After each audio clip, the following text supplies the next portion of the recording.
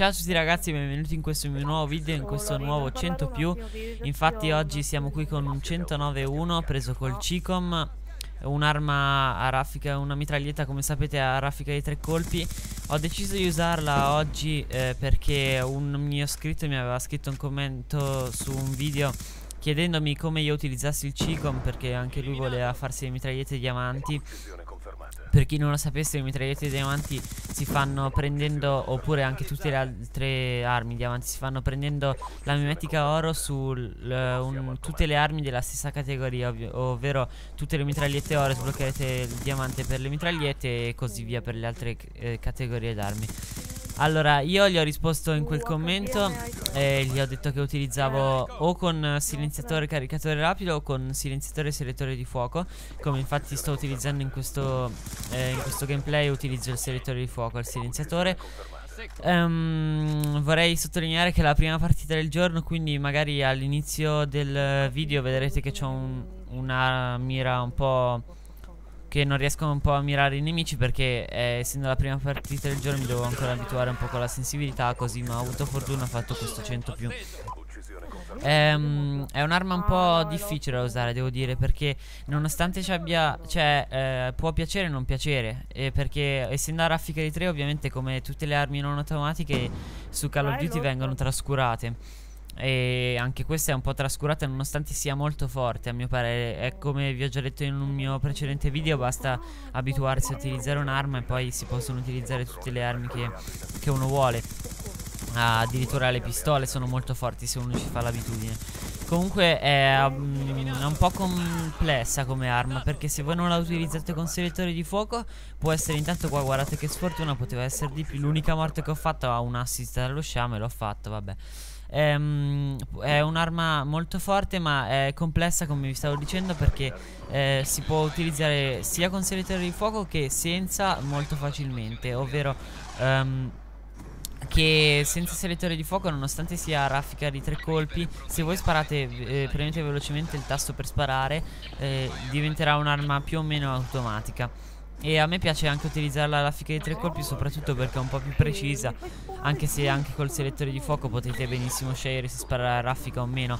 Comunque io lo utilizzavo col selettore di fuoco in questo gameplay appunto perché essendo mio, la mia prima partita del giorno non, non, avevo la mira e con un selettore di fuoco è più facile prendere i nemici. Comunque senza il selettore bisogna un po' essere più precisi per uccidere i nemici. Comunque Stavo giocando su una mappa dove ho fatto In questi giorni ho fatto dei bellissimi risultati. E um, la mappa è Carrier e Secondo me è molto buona Perché essendo una mappa molto aperta Le ricompense fanno veramente tante uccisioni. Infatti come vedrete eh, Nell'ultima parte eh, Cioè farò tante uccisioni con uh, le ricompense Anche in questo video. E appunto io la consiglio per fare un 100 più Anche se è un po' difficile da giocare. Cioè se voi prendete le ricompense farete di sicuro un buon risultato Ma prenderle è un po' più difficile rispetto alle altre mappe perché non è una mappa strutturata su tre vie come la maggior parte delle mappe. Cioè tre vie ci sono ma quella centrale è molto più grande delle vie laterali e soprattutto è una mappa molto aperta. Non è una mappa secondo me consigliabile per utilizzare delle mitragliette da corpo a corpo. Comunque è meglio utilizzarsi un cecchino se uno si vuole divertire o un fucile d'assalto Se uno vuole proporre bei risultati perché eh, come vedete è tutta aperta. So, A parte una casetta sulla via a destra se si guarda dalla bandiera A E una, una stanza, un corridoio a sinistra Dove è una delle uniche zone chiuse di questa mappa appunto. Tutto il resto è completamente esposta ai cecchini. Infatti come avete visto prima sono morto uno dallo sciame con un cecchino. Non si può morire in altro modo a meno che non trovate della gente che gira col fucile a pompa per rompere le scatole pure nelle mappe grandi, ma questi sono un'altra cosa. E giocavo in uccisione confermata.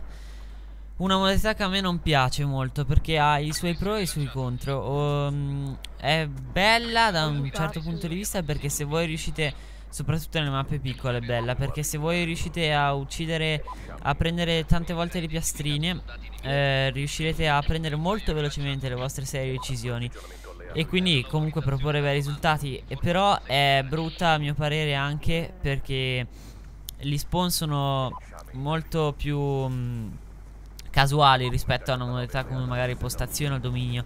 Infatti vi capiterà spesso se giocate in questa modalità che vi sponino addirittura più più davanti di quanto ve ne spawnino se giocate dominio che già lì c'è da lamentarsi sugli spawn. In uccisione confermata non si possono vedere addirittura. Infatti come vedete su questa mappa uno spawn è qua dove sono, sto andando adesso. Uno è, e poi ce n'è uno a destra alla mia destra ora e uno com, eh, sulla bandiera A se voi giocate in dominio e in uccisione confermata anche Um, e poi è anche abbastanza brutta secondo me perché anche in questa, um, in questa partita succederà una cosa un po' sgradevole, ovvero che i nemici cioè gli alleati se voi dovete giocare in gruppo a mio parere non ci sono confermata Ora io non avevo amici da invitare e quindi ho preferito giocare solamente con Virus. eh, Infatti eravamo in squadre multiple e l'unico alleato che non era con noi ha rovinato più o meno la partita Cioè l'ha fatto, fatto, finire troppo in fretta. Mancavano ancora due minuti, mancava poco all'Ostar E si è messo a confermare tutto. Ovvero io non dico che non bisogna confermare su questa modalità Anzi, è una modalità fatta apposta per confermare le piastrine. Però io vi chiedo semplicemente se voi magari vi trovate un alleato che sta facendo un buon risultato e vedete magari anche in gruppo con una persona e comunque anche, Virus ha anche detto in inglese perché Virus è di nazionalità inglese ha l'alleato di non confermare lui ha confermato lo stesso e ha rovinato più o meno la mia partita. Cioè è uscito un buon risultato è un 109-1 un buonissimo risultato a fare il mio però poteva essere migliore.